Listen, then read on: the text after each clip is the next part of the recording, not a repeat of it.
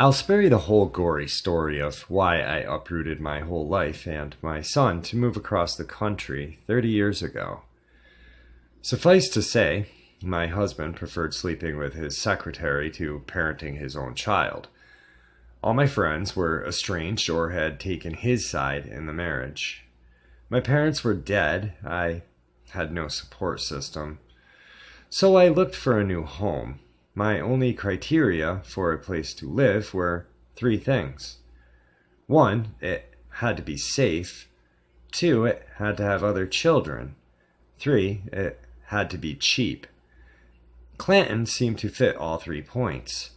It seemed like a wholesome little town, full of families with children who formed a tight knit community. From a distance, it looked very much like what I wanted. The very first crack in the facade came the day I went to view a house. The realtor was almost too bright and bubbly, but I wrote it off as an amateur goof. She babbled on about the school and the proximity of the house to the two parks, and did I know the HOA president had worked on two different boards of education before retirement. I tuned out her chatter almost immediately, because as we walked in the front door, I was slapped in the face with a huge, creepy clown mural. How to describe it? I'm sure anyone with even a passing interest in serial killers has seen John Wayne Gacy's paintings. These were very much like that oddly disgruntled expressions, disjointed anatomy, gaudy colors. It made your skin want to crawl right off your back. The realtor saw my face and laughed. The kids love them. I'm sure you'll get used to it. What struck me even then was the finality of the statement. I was in no mood to get used to Gacy's twisted leftovers. I made mental plans on how to paint over it before I was even two steps in the door. The rest of the house was nice. Came with a washer, dryer, and a dishwasher. Nice little green square of a yard, a screened porch, and a little swing set. I almost asked if they got their milk in bottles like the Andy Griffith show. But I bit my tongue. Except for the front hall, it really was exactly what I was looking for. So, what do you think? the realtor asked breathlessly once we got back to the front door. I shrugged. I'm still weighing my options. The realtor got this desperate gleam in her eye. Oh well, I'm allowed to knock fifteen thousand off the asking price. Well, I, 20,000. She walked forward and grabbed me in a hug, squeezing more than I thought was strictly called for. We'd love to have you here, Denise. Please, think very carefully about it. I shook her off, trying to laugh the awkward away. I'll think about it, but I really must go. I made up an excuse and drove out of there. It was the weirdest thing, but as I took the one road that seemed to serve the entire town, I swear everyone who was outside stopped to wave to me. Men watering their lawns, women on walks with their dogs, even the mailman doing his rounds on foot. It was almost like a joke. I was a little charmed by it, but it was also kind of creepy in a way I couldn't put my finger on just yet. Well, after I picked up my son Joshua from daycare, I laid out my finances and did some homework. The house in Clowntown was the only place I could move and hope to have a little bit of safety bubble left. I rationalized away the little things I experienced the first time. Any place with a homeowners association was bound to be a little odd. The clouds were probably done by somebody's art school dropout kid who needed cash. It was a small town with a close community, wasn't that what I wanted? The Saturday I rolled into town with my son and a U-Haul truck, I started noticing more things that were just off. For starters, I hadn't looked closely at the town sign when I had driven up the first time. Today I saw the weird clown motif extended even here. Five brightly colored circus goblins propped up the sign and leered at me as I drove past. I spotted more clowns on my way further into town, hiding in building murals and peering out of bushes. Despite how disturbing I found it all, I tried to talk myself past it.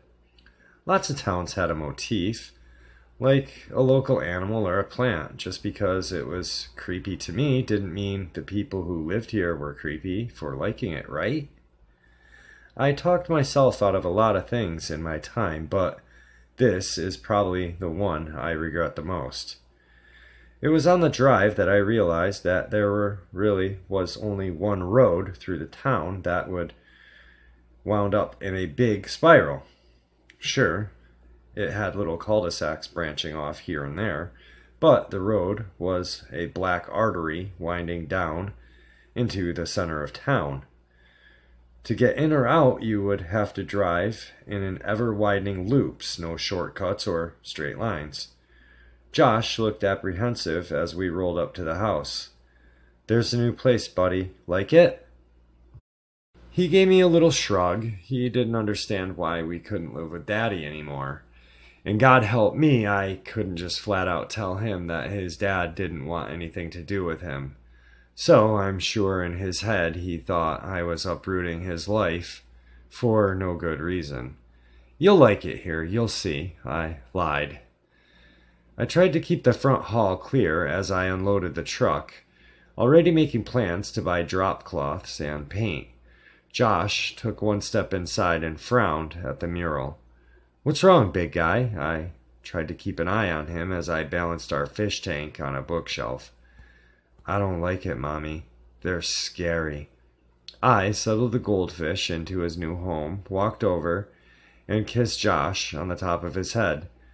Don't worry, sweetie, I'll take care of them.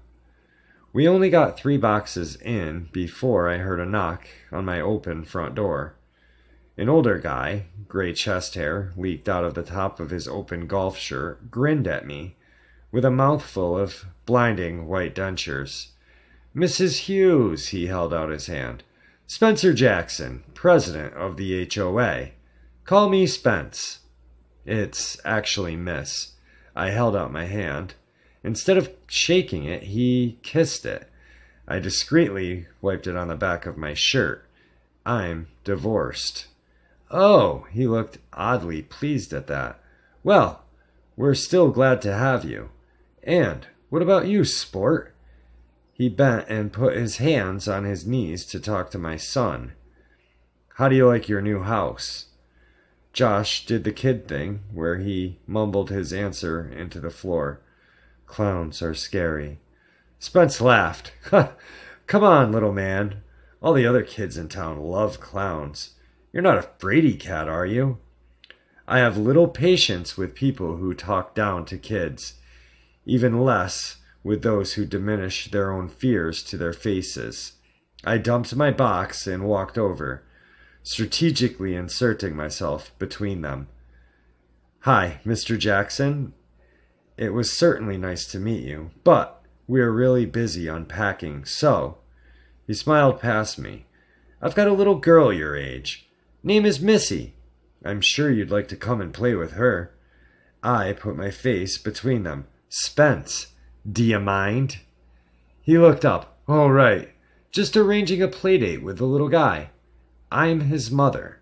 All playdates arranged will be with me. I started wheeling a hand truck towards him, backing him up to the front door. I'll get back to you once we've settled in, okay? He sidestepped me, leaning over, keeping an eye contact with Josh. See you soon, right, son?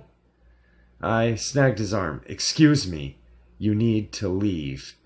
He looked at me like you might look at a dog begging for scraps. Oh, right.